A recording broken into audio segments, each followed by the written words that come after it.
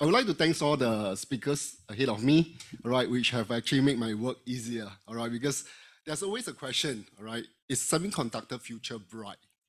Hey, when I was actually in your position back then, right, Singapore, uh, I mean, uh, semiconductor, we, we say that it's actually a sunrise industry. And after that, right, they were saying that, hey, it seems like semiconductor is a, is a sunset industry. The answer is no, all right? You can hear from our speaker just now, right? There's ample of opportunity. Prof. Tian has shared, right? One fab is actually three aircraft carrier, right? If it's a sunset industry, right? Those uh, countries like US, China must be out of their mind, right? Why, why are they investing so much? And then you can see very well, right? The, the top foundry as well as applied, right? Which is uh, NMC, right? A large, a huge MNC. They are channeling so much uh, investment into this area right? And then you can see how they have been mentioning the growth. So it is really a very huge opportunity that we are looking at here.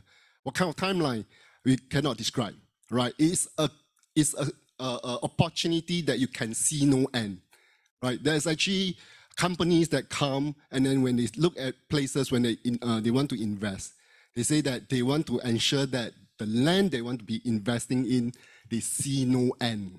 What does it mean? It means that there's vast of opportunity to build fabs, right? Factories, um, uh, companies, and they do not want to see ending. There's no end to, towards the land in which they want to be investing in, right? So that is one of the criteria that the top companies are looking at in semicon. Okay, so I hope that convinced, right, the students, right, that is ample opportunity, vast opportunity, right? Okay, the next thing is that what about the talent pipeline, right? Definitely the talent pipeline is there, right? We have people here physically attending the session, but uh, you should know that this is a hybrid session, all right? So in other words, we have in person and we have online. Okay, for those online participants, we did a check. We are actually close to 500 over people attending this uh, session, right? So there are actually students uh, looking at this uh, opportunity, right? In addition to that, right, we just checked our LinkedIn um, there is actually more than 1,000 over likes in our LinkedIn, right? So this student actually varies from Singapore, Malaysia, right, China, right, and Indian, uh, India, and then we are also looking into Vietnam as well as Japan, right? So you can see that um, there is actually the demand and the supply are there, right? So right now, what do we need to do? We need to connect both demand and supply. That is why we have this program. Okay, so without further ado, let me quickly introduce this program. Right, so for this program itself, you all know that there are various departments uh, looking into it. Uh, electrical, uh, computer engineering, then we have MSE, and then we have ISEM, mainly because you have heard enough that this is a multidisciplinary uh, industry, and we need to train our students uh, to be able, or our talents to be able to be be able to go into this industry. So this is what we are looking at. So the background uh, is talking about the need of it. I think we I don't need to further explain on it. it it's a very clear cut that the industry is huge. All right, the advancement is there. We need the talent pipeline. Right, we need to create this talent pipeline, and it's actually initiative supported by the national level as well in Singapore. Right, that's very very clear. EDB is there, fully supporting this. All right, and that's the reason why NUS is actually pushing out this. And uh, for your information, uh, this was actually submitted for approval last year only in December. And we are actually thinking that probably we will start it much later. But we got the approval from MOE very fast, right? Before um, the new year, we already got the approval that we should go ahead with this program. Uh, so that is how fast it went. And then we have, after that, we have actually decided to pull in this uh, course, this program by one semester. By right, it should be starting in 2025. January. But because everything went so fast, we decided to start it in August, this August 2024.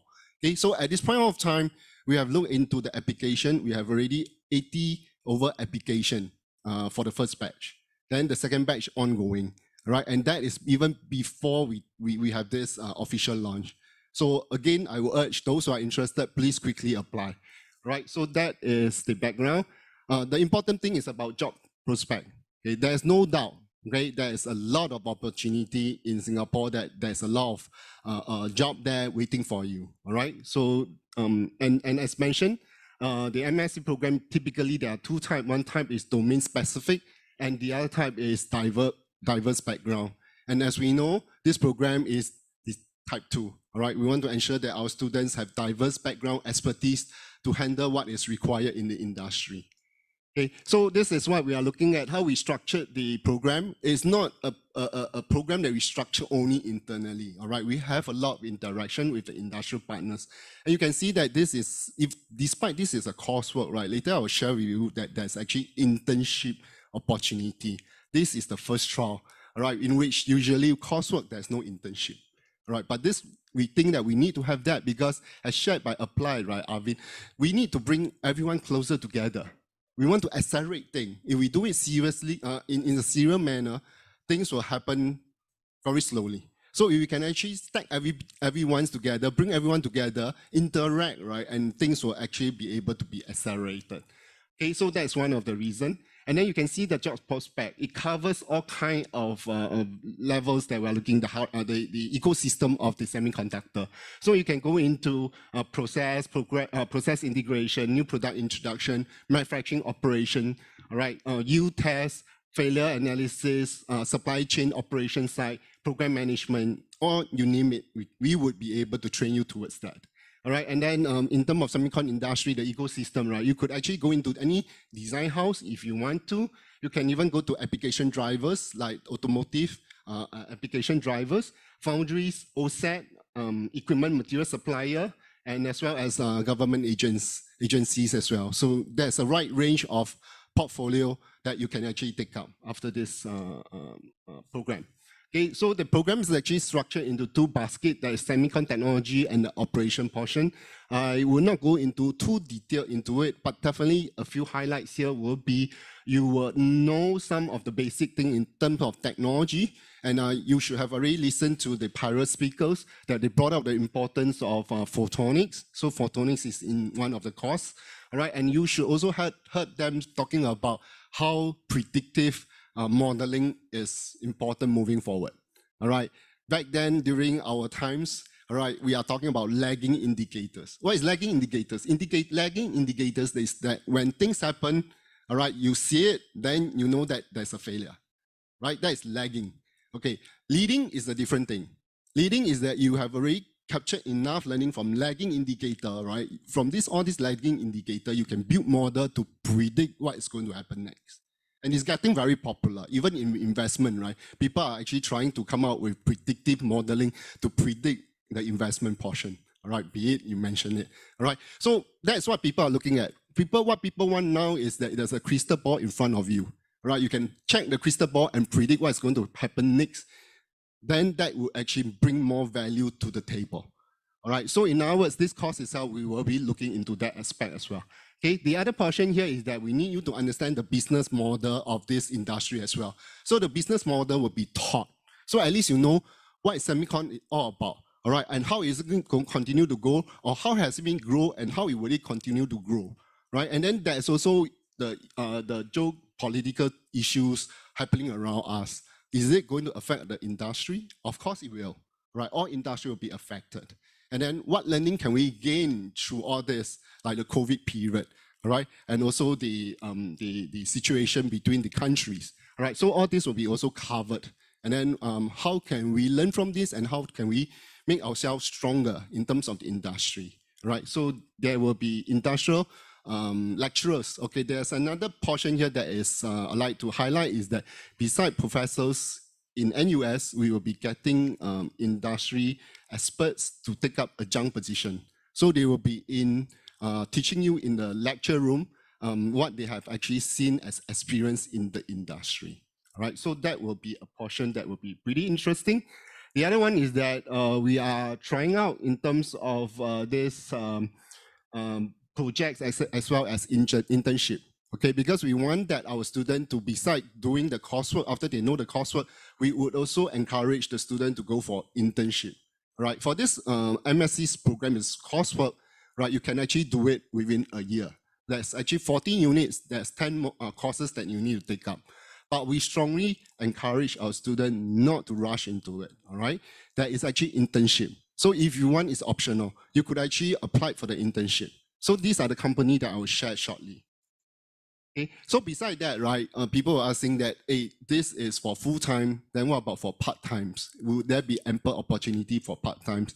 Yes, it is also open for part times. Okay, so that means existing engineer in the industry could actually take up this. All right. In other words, they may feel that, hey, um, immediately if I have to take out an MSc program that has 10 uh, courses, and then I have to complete it within one year to 1.5 years, am I sure I can manage? Because I'm, I, I'm already starting work.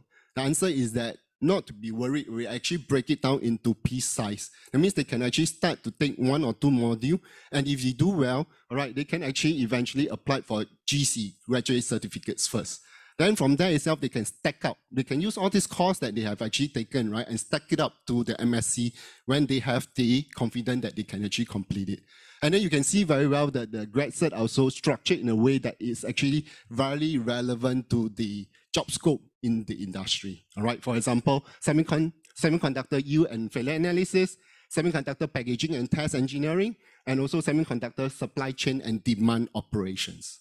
Right. So in other words, this is a program that caters to a huge crowds. Whether you are full time, whether you are part time, whether you are local, whether you are overseas, you have the interest this course will be suitable for you.